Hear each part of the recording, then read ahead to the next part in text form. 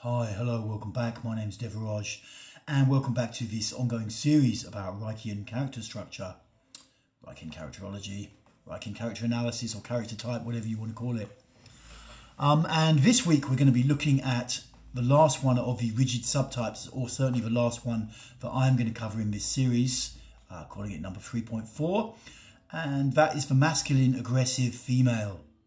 Fairly rare subtype, I would say but interesting and kind of instructive. One of the great things about characterology and about the different characters that I find is that, you know, that learning a bit about each one that Reich identified or that came along a little bit later, you start to also understand, you know, a lot more about how character analysis really fits together, you know, really fits together. So even if you know, you're looking at this series, you think, oh, I'm not very interested in that one. I would recommend you just to give it a listen if you're interested in character structure, because you can learn a lot from each one, even if it doesn't remotely apply to you. That's certainly been my experience. So, just to give a little background knowledge about the masculine aggressive uh, female, let's get my little thing running here so I can see what's going on. Sorry. A little bit of background knowledge because Something that you can take from this whole series is an understanding of the significance in psychology and in your life of egoic strength, the strength of your ego, what was known originally in Freudian psychology as aggression.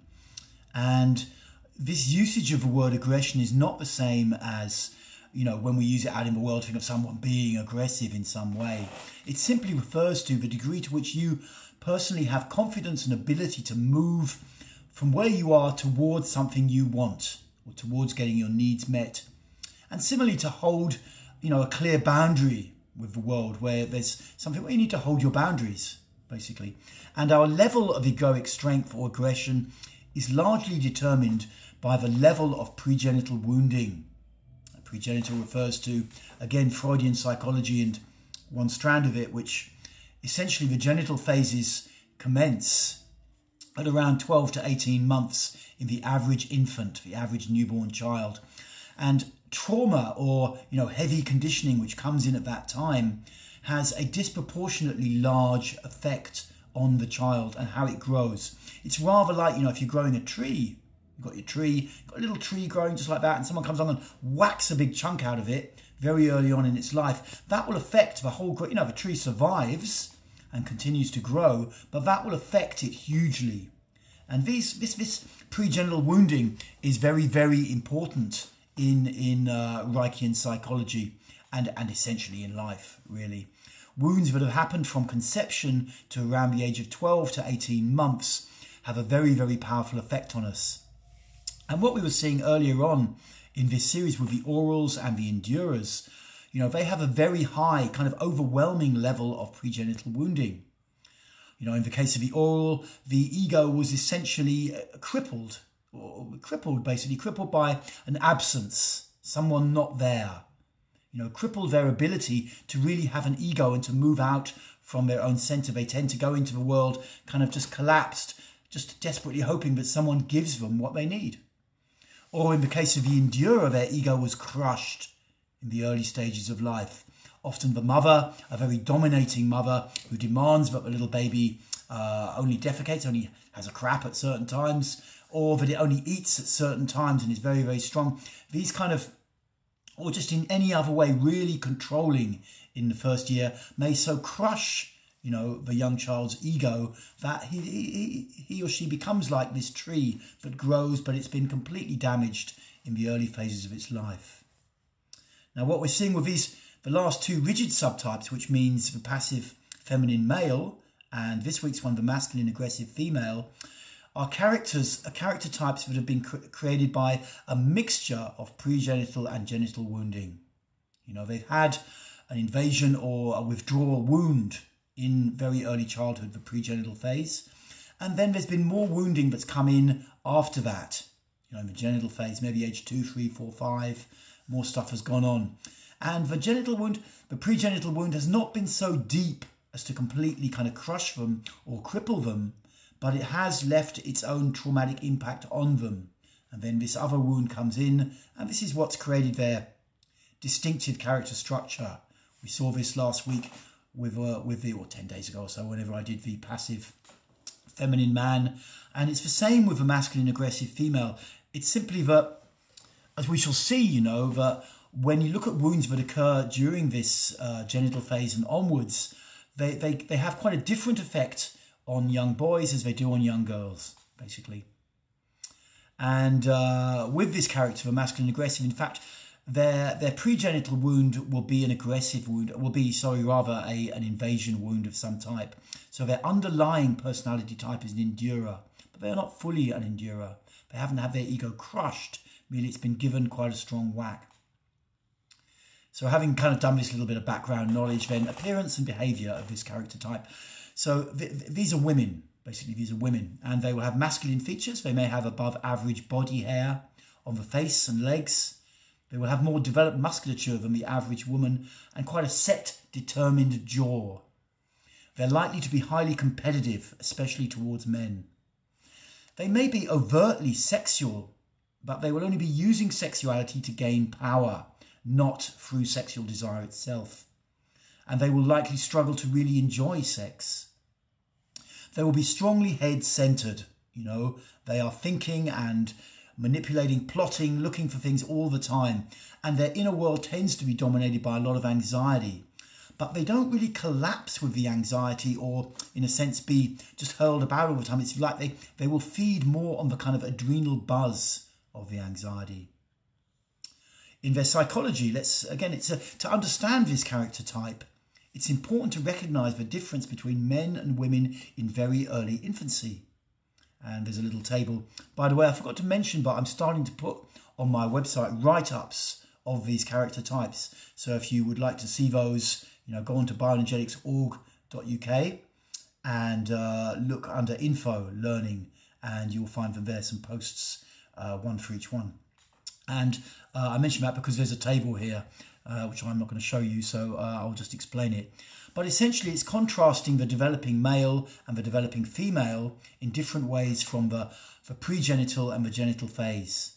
So, in the pregenital phase, uh, small, small male children, their attention is directed towards the mother. Because you come out of a mother, your attention, mostly in the first 12 to 18 months, is directed towards the mother. And the charge that becomes sexuality is located in the penis. Basically, simple as that. And when you hit the genital phase at around 12 to 18 months, this charge in the, in the penis increases. You know, increases. You get more pleasure out of stimulating this area as, a, as an infant. And your attention remains directed towards the mother, towards because she's the opposite gender. And with women, quite different stuff happens. There's little infants, little infant girls. Yes, in the pregenital phase, their direction, their attention is directed towards the mother, because they came out of a mother. They came out of mother, same as the little boys. And sexually, their energy is in the clitoris, is in the clitoris, outside the vagina. And when the genital phase comes in at around 12, 15, 18 months, their attention starts to shift towards men, towards the father, towards brothers, towards any other males around. And their sexuality, the charge, the, the charge of energy moves from the clitoris into the vagina. And this movement is very, very important in bioenergetics because for women, it's basically from there they will develop to be really a woman, really a woman. All the features and psychology of really a woman. And so, you know, what's important to notice in this is that with guys, you know, as they're, gen- they're developing from the pregenital into the genital phase in very early infancy, their attention remains directed towards the mother and their, their, their energy builds in their penis, but it's not moving anywhere else. It's not moving anywhere else. But for women, it's considerably different. The energy should shift into the vagina, which becomes increasingly this receptive organ of the body, female body. And their attention starts to shift towards the father, starts to shift towards the father. And what you will usually see in the history of this character, uh, there will have been quite a lot of rejection of this infant sexuality going on. There's already been some form of invasion wound that's happened, uh, some extremely controlling parent a little bit earlier on. But then there's a kind of rejection of her infant sexuality, usually from the father or others, because you know men don't know how to cope with a little girl who's who's who's got a certain level of sexual uh, sexual attention directed towards them. And you know, it may well be that the father often only gave attention or love to the little girl as a reward for some kind of endeavor, you know, uh, not in appreciation of her femininity in any way. He may have been wanting a boy. He may have been wanting a boy, something like that. And what happens in this is that the charge that should be moving into the vagina from the clit tends to not move.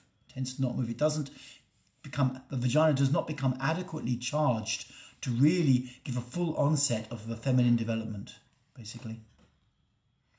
And what also tends to happen, as is with uh, the passive feminine male, who has been through a similar process, but because he's a boy and the and the way that uh, we do, way that men develop in the in the pre and the, in the genital phase is different.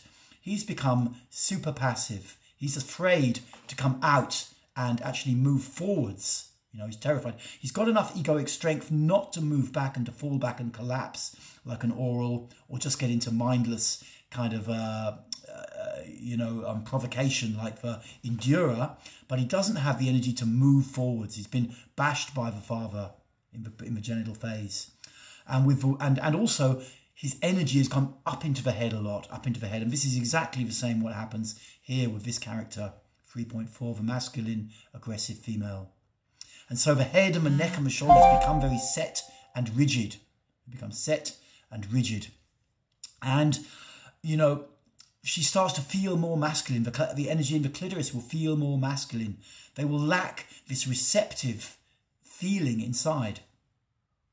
And from here, you know, through the years, more masculine development takes place.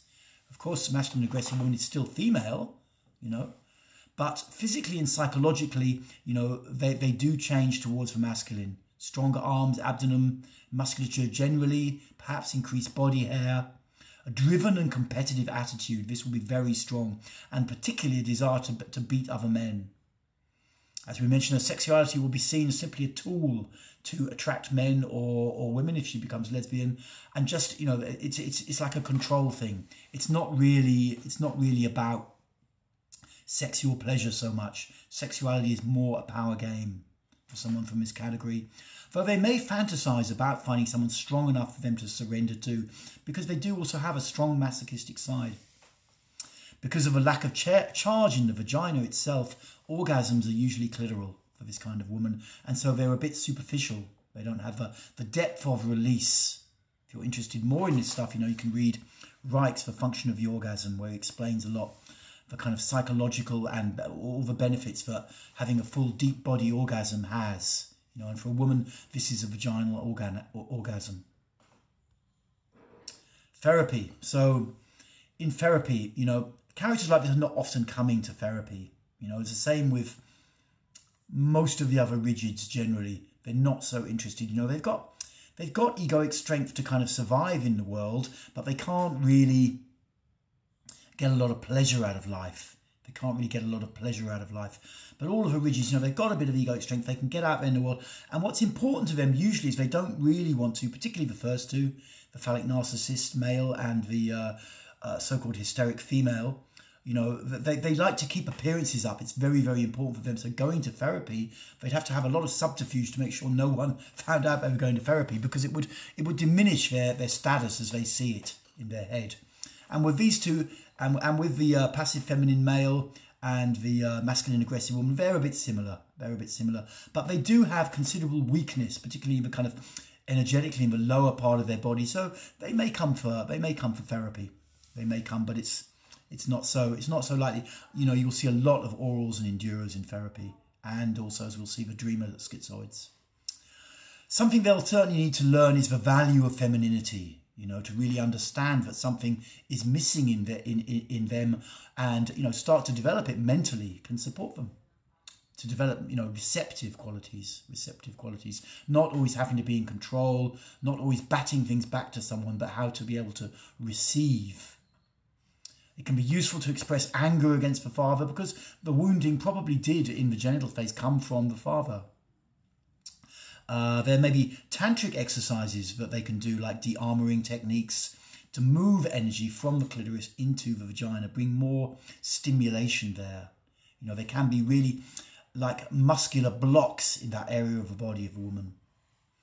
And also, you know, as is the as is the case with pretty much all the character types, strengthening the legs, and you know the whole grounding circuit from the belly through the hips pelvis legs and feet down to the soles of the feet the more energy you can get in that circuit the easier it is for the upper body to relax and for more awareness to come back into the body. So those are the basic uh, yeah that's the basic some of the, the basic roots in therapy. Okay so that's the masculine aggressive female. I'm not going to do any more rigid subtypes.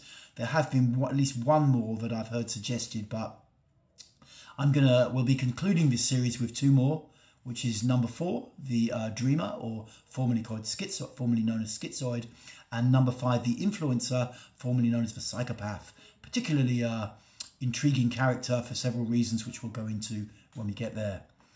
Um, so that's this. That's um, the this Reichian character type 3.4, the masculine aggressive female. If you're interested in this work, check out bioenergetics.org.uk, where there's the online course and also some written articles on this kind of material. I'm putting more up, so uh, there's one or two up right now. I'm putting a few more up in the next few days. Okay, guys, thanks for tuning in, and uh, feel free to like and subscribe and all that stuff, and I will speak to you later.